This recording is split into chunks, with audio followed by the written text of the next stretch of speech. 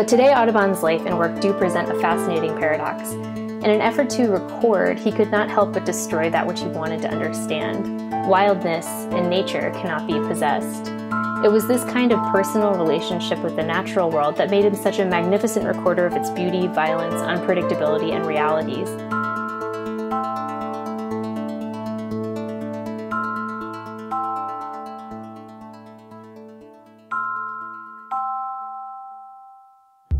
Welcome to Polks America. I'm Thomas Samuel. In February of 2020, the small staff of the President James K. Polk Home and Museum set to work installing an exhibit entitled Audubon Nature and Nation. We moved the temporary walls into place and painted them sky blue. We built a case to hold a long rifle and recorded bird calls in the little speakers. We hung 12 original prints from the very first printing of John James Audubon's Birds of America. We were excited to share our work with guests and field trippers during our busy spring season. And then, like most museums across the country, we were forced to close due to the COVID 19 pandemic. Only a small fraction of guests actually got to see the exhibit before it closed. In some ways, this episode is bittersweet, a reminder of the conversations and history we were not able to share. Our guest is Katie McKinney. Katie is the Margaret Beck Pritchard Assistant Curator of Maps and Prints at the Colonial Williamsburg Foundation. Her presentation, I Cannot Help Copying Nature, John James Audubon's Quadrupeds of North America, introduced us to the story of Audubon's final epic collection of prints and serves as a send off to Audubon, Nature, and Nation. Here's Katie. If you're unfamiliar, Birds of America are 435 life sized, hand colored double elephant folio engravings of American bird specimens that were published between 1827 and 1838.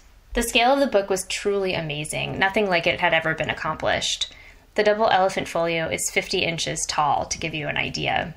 The birds in the book were either derived from specimens that Audubon had killed, which I think surprises a lot of people that he actually had to kill these birds, um, but he also used specimens that he found in other collections. In addition to hunting birds, Audubon spent a great deal of time observing the behaviors, environments, and characteristics of these creatures from life. But each of the poses, interactions, the plants, and bugs, they're all there to tell you something about the behavior, anatomy, and habitats of these birds. I caught up with the Polk Home Museum's curator, Candice Candido, on the opening night of the exhibit right now we have a show called Audubon, Nature and Nation, which delves into the phenomenon known as John James Audubon, who is, of course, um, a famous 19th century uh, naturalist, artist, um, and all around popular character, still beloved today. Um, we have 12 original first edition prints from Audubon's most famous work, Birds of America, which was published during James K. Polk's lifetime, sort of early on in, in Polk's political career. At the center of the show is this long rifle um, in a case right in the middle of the room. And that was done very intentionally to sort of introduce uh, several different important ideas at once. Most people have been surprised to learn that Audubon was actually so we think of him as a, as a naturalist and even a conservationist, and in, in a way he was, but the idea of what those um, roles mean has certainly evolved over the last 200 years. And in his day and age, Audubon would actually go out into the woods to find these species of birds and was shooting really incredible numbers of birds um, during his process of documenting and painting these creatures the rifle was really sort of the central tool for Audubon and his work. And we see that really interestingly in the way that he is portrayed in portraiture from the period. So you would typically think of an artist being portrayed with the tools of his trade, maybe having a paintbrush in his hand, but Instead, John James Audubon is often depicted with a rifle. Um, the rifle was not only a practical central tool of Audubon's work, but it was also an important part of his self image and the way that he wanted to be seen as he moved about the world. And the idea there was that he wanted to be seen as this new type of naturalist. He wanted to be seen as a man of the woods. So, whereas um, in England, the study of nature and um, the artistic pursuit of documenting nature was something pursued by gentlemen. Um, Audubon intentionally kept his hair long, he wore buckskin, um, he was depicted with a rifle. Um, he was very much wanting to portray himself as this American woodsman. Um, and that was his primary identity that he really carefully crafted, both with um, the way he dressed, the way that he presented himself, and also the way that he wrote about himself and about his experiences um, interacting with these birds and, and creating um, this monumental work, Birds of America. Both Katie and Candace presented Audubon as an artist and naturalist who purposefully presented himself as an American outdoorsman. His personal image was an important selling point. Audubon's buckskin clothing and long rifle were part of a carefully crafted identity. He was born in Saint Domingue, present day Haiti, in 1785, the illegitimate son of a white French sea captain and plantation owner named Jean Audubon and a woman named Jeanne Rabin, who died shortly after his birth. Some scholars believe she was a recently arrived white French chambermaid. Others suspect that she might have been of African descent. The possibility that John James Audubon might be mixed race has been the subject of great debate. Despite the fact that his father was married back in France, he fathered three other children with a mixed race woman named Sanit Bouffard, with whom he lived openly. With growing fears of slave insurrection in Saint Domingue, his father sent his three year old son back to France to live with his legal wife. In 1803, Audubon arrived in the United States to avoid conscription in Napoleon's army. Audubon would later write cryptically about his origins, which might speak to his own insecurities about his racial background. He was now able to shape his own narrative, one of a white American frontiersman. By the 1820s, John Audubon had carved out a living as an artist painting portraits and other smaller works but he dreamed of documenting all the birds of America. Leaving his wife and children at home in Kentucky, he journeyed across the nation in search of his avian subjects. In 1826, at the age of 41, John Audubon traveled to England with a folio containing hundreds of drawings. Here, the artist capitalized on his frontiersman image and sold subscriptions to the birds of America. The printing process was expensive and labor intensive, requiring hand engraving and coloring but the results spoke for themselves. Beautiful, life size images of American birds brought to life in unique style. The collection would go on to be considered one of the greatest works in American art history. Audubon's eventual success was due in part to greater cultural trends at work. Here's Candace Candido there was a growing interest among Americans in this time period in learning about the natural world around them, in exploring and documenting, um, especially some of these newer lands that had come into the United States. Um, as first as part of the Louisiana Purchase, and then later as the nation continues to expand. We've got a lot of overlap here between these ideas of um, Audubon wanting to go into the woods to document birds, to explore nature, um, and then also th- this new generation of Americans wanting to use the natural world to solidify um, a distinct American identity for themselves. Purchasing um, a book like this for Americans who had the, the means to do so um, was a way to celebrate both an interest in nature and an interest in their nation and in this new American identity. There were um, new species of plants and trees and birds and mammals um, that existed here in North America that were unknown to Europeans and that were unfamiliar to that continent. So, in that way, Americans were able to sort of claim these new species, these new lands, as something that was unique to them, as something that, that set them apart from Europe um, and became a part of how they were able to craft, consume, and express a distinct American identity. Audubon rose to fame at a time when the United States was searching for an identity as a nation. The country was expanding westward. The Louisiana Purchase, followed by the addition of the Western Territories during the 1840s, provided new frontiers that inspired a sense of ownership and adventure. Audubon and his work embodied that feeling. After the success of Birds of America, Audubon set his sights on another ambitious project documenting North American mammals. The catalyst that truly set the project in motion was a fateful meeting in Charleston in mid October 1831, when Audubon and his team were collecting specimens for Birds of America. He was walking down the street in Charleston when a man jumped off his horse upon hearing the name Audubon and rushed over to meet the naturalist. This man was Reverend John Bachman, a Lutheran minister and naturalist who had published on North American mammals. Like Audubon, Bachman shared a love of nature from a young age. Later in life, he recounted how, as a child growing up in New York, an enslaved man named George first introduced him to his love of the natural world. George imparted his vast knowledge of hunting, trapping, and the habits and behaviors of wildlife onto the young man. He also helped the child trap and sell the fur of wild animals to raise money for his young master's scientific texts. This was obviously an unequal relationship.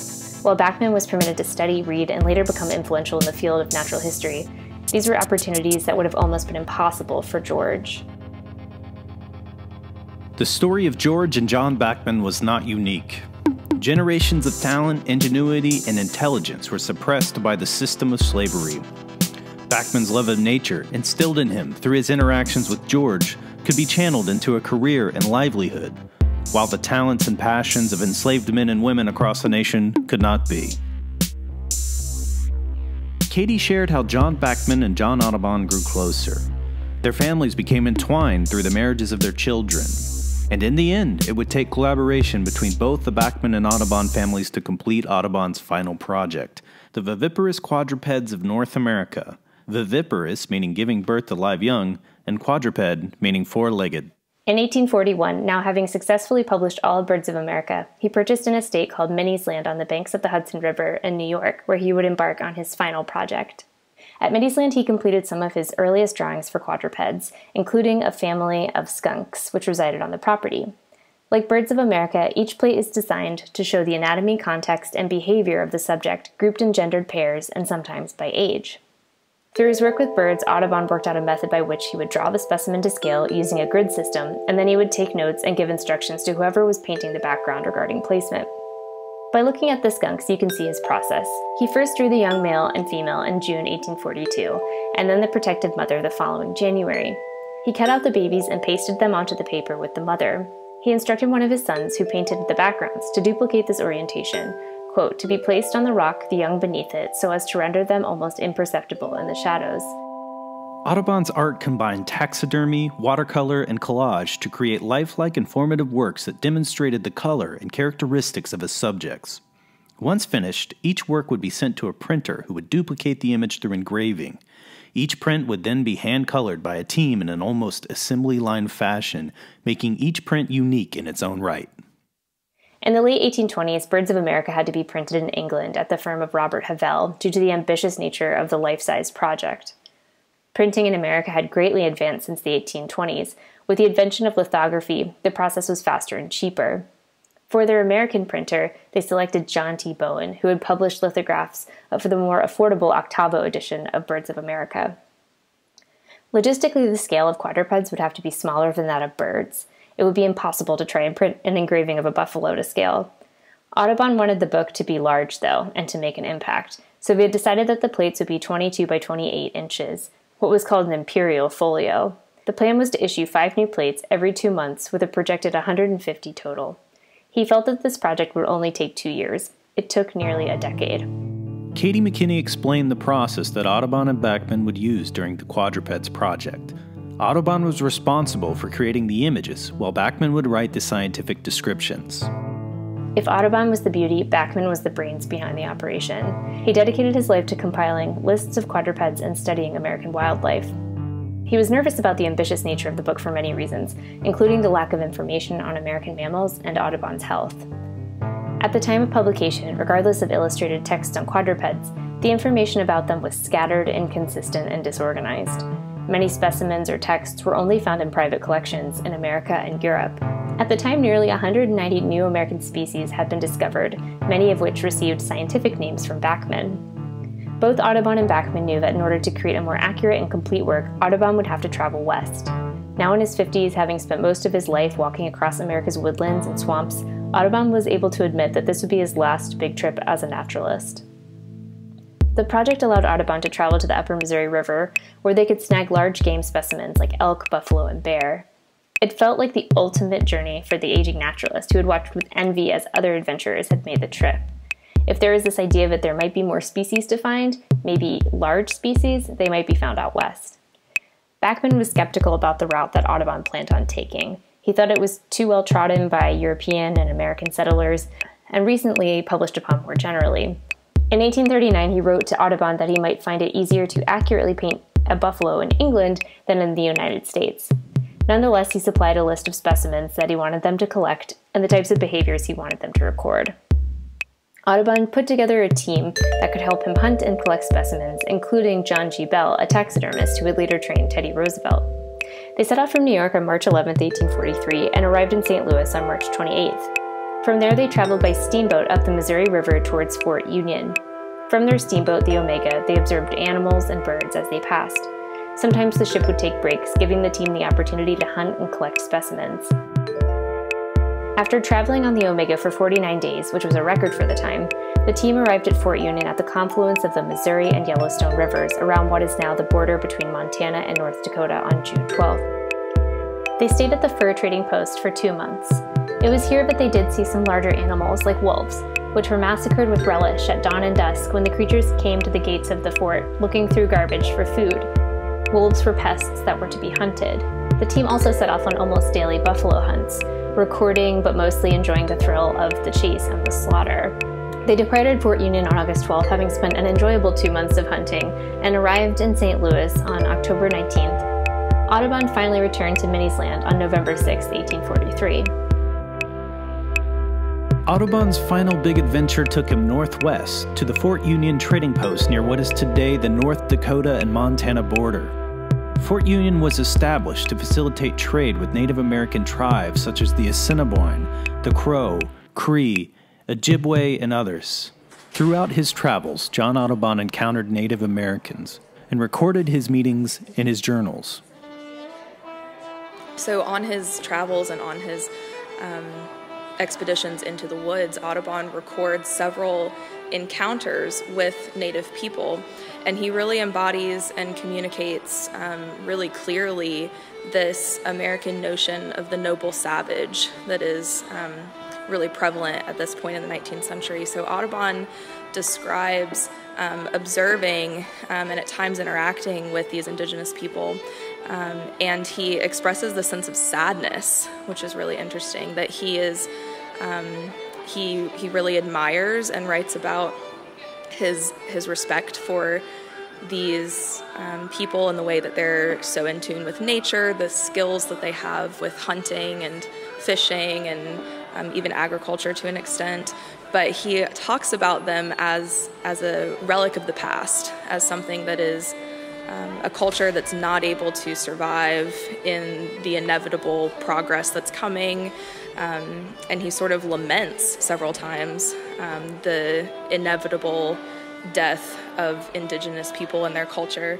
Um, he, he recorded at one point observing a Seminole man in Florida um, on one of his expeditions, and he wrote, Alas, thou fallen one descendant of an ancient line of freeborn hunters, would that I could restore to thee thy birthright, thy natural independence, the generous feeling that were once fostered in thy brave bosom, but the irrevocable deed is done. Um, I think that really tells us what we need to know about how Audubon is viewing these people, and, and he's not unique in that. In a lot of ways, that was sort of the mainstream perspective as Americans were moving further and further west, displacing um, more and more people groups. Um, that as much as they may respect and revere um, these cultures in a way that was very other, very different, very foreign, um, in some ways very dehumanizing, they also um, didn't see any way around their demise. And here we encounter one of the great tragedies of the idea of manifest destiny that strange emotional American zeitgeist. Audubon eulogizes the native people he encounters as a relic of the past. He respects, he laments, but he otherizes and infantilizes, and in turn justifies. The destructive nature of American progress is assumed and accepted.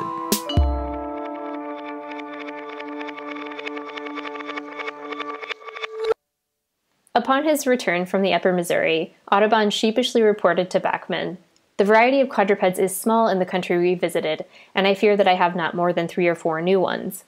Bachman responded to his letter by saying, I'm glad that the western prairies have used you so well that you've grown fat on bison's humps. You were, I fear, too stationary for many new quadrupeds. And Bachman was right. Over the course of the journey, John Bell, the, the taxidermist, prepared 85 mammal skins, resulting in 27 species total. Rather than the large new species they'd hoped to find out west, they only found two small new species, including the Missouri mouse. Audubon was understandably afraid to show Bachman his journals because many of his entries were not of a scientific nature. He finally relented when Bachman threatened to quit the project, and Bachman was understandably disappointed. For his diary's lack of academic rigor, Audubon had written down and gathered exciting stories of buffalo hunts, drunken fur traders, accounts of American Indians like the Mandan tribe, and encounters with grizzly bears. While still on the trip, Audubon would send such stories to his son Victor in New York and tell him to slip them to the press to drum up publicity. Bachman was also disappointed by the disorganization of specimens sent back from the trip. When Bachman opened a box that was supposed to contain a prairie dog, he wrote to Audubon, I'm exceedingly troubled about the prairie dog. Sometimes I think that a parcel of legs and a head that came in the box may be that species. There is, however, as usual, nothing labeled. Despite the setbacks, the project rolled forward. The first plates were published by Bowen in 1842, and that plate was of the common American wildcat, and the first full volume of plates was completed in 1845. It became clear that the Western journey had not produced enough specimens to create a work that would be at all taken seriously, and Audubon's health was beginning to fail. He was prone to bouts of drinking, and his eyesight was failing. So Bachman deployed Audubon's son, John Woodhouse Audubon, to travel to Texas just as the Mexican American War was beginning to find desirable specimens like the armadillo. John also hired scouts and soldiers to bring in specimens for bounty, like the jaguar.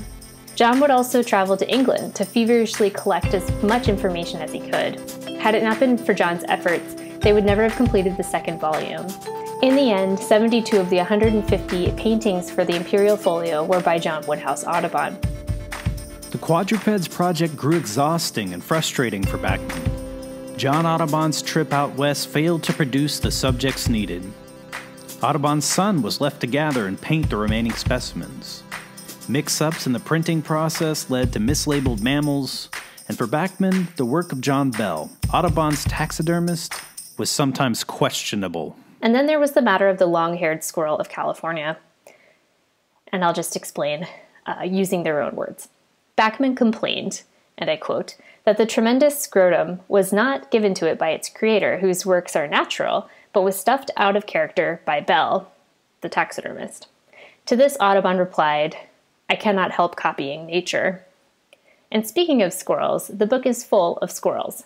One of Audubon's English patrons complained about the abundance of squirrels in the book. Audubon's response was In talking of squirrels, you say, like our subscribers in this country, that there are rather too many, and yet what can be done? This is the land of squirrels and woodpeckers, and you must not be surprised to see a dozen more species of the former.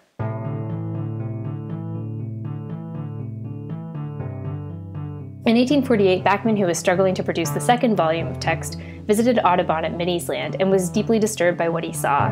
His old friend was there in body, but as Bachman recounted, his mind was in ruins.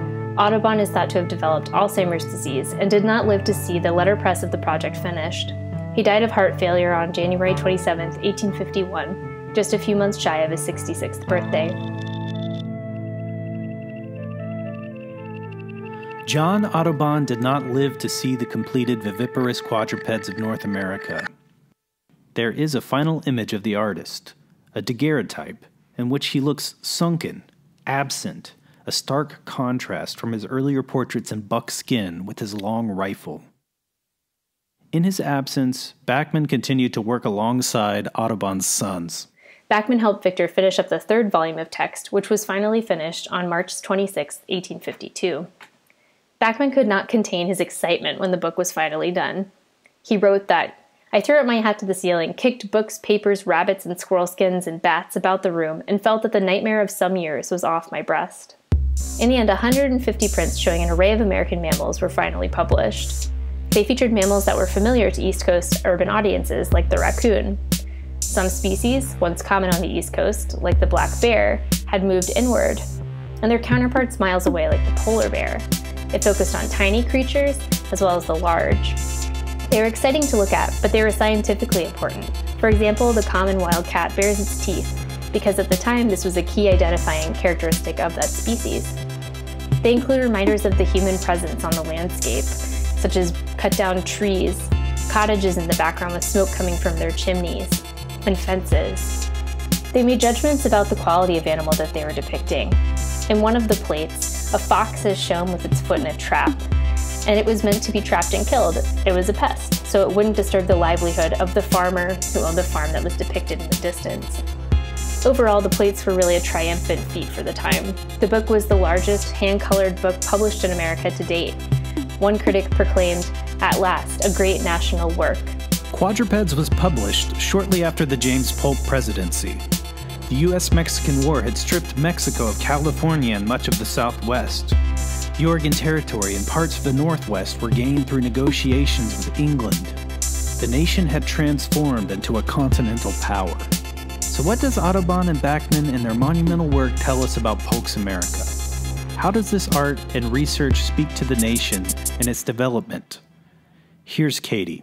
Polk was a major proponent of the concept of manifest destiny, a belief that justified westward expansion as a God given right and the destiny of white Americans. While this was an exciting time for white Americans, it was an anxious, violent, and often deadly one for American Indians who were pushed from their lands. And it was an uncertain moment and disastrous moment for enslaved Africans. The question of whether or not slavery would expand west was a question it would take a civil war to answer. Audubon was part of this generation of Americans, like Polk, who looked westward, but who were largely unaware of what their impact would be on the people, animals, and landscapes that were already there. Within another generation or two, that impact was harder to ignore. In 1840, a few years before Audubon's trip to the upper Missouri to hunt, there were roughly 35 million buffalo. By about 1890, that number was down to 541. Many factors contributed to this astonishing slaughter, largely as a result of westward expansion. They were hunted for profit and sport. The U.S. military slaughtered buffalo as a tactic to destroy the food source of Native American tribes and to push them off their lands. One of the species that Audubon discovered, the black-footed ferret, is today on the endangered species due to loss of habitat, food sources, and disease. This was something no one in Audubon's time would have been able to comprehend.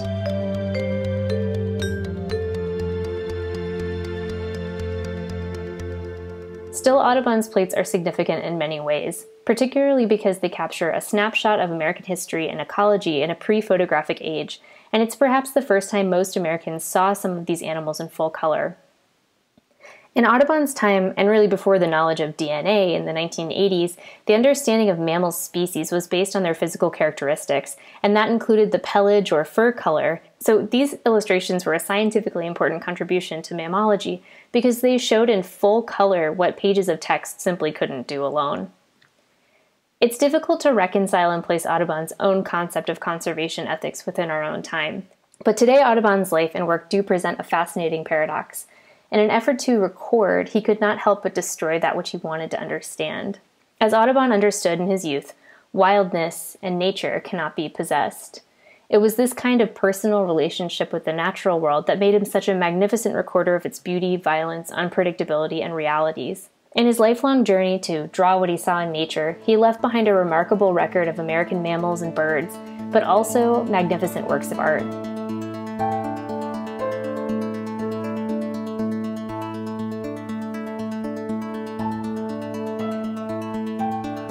This has been Polk's America, a podcast produced by the President James K. Polk Home and Museum in Columbia, Tennessee. I'm your host, Thomas Samuel. Our guests were Katie McKinney and Candice Candido. The lovely fiddle music was performed by Debbie Lewis. For more information, visit jameskpolk.com or find us on social media. Thanks for listening.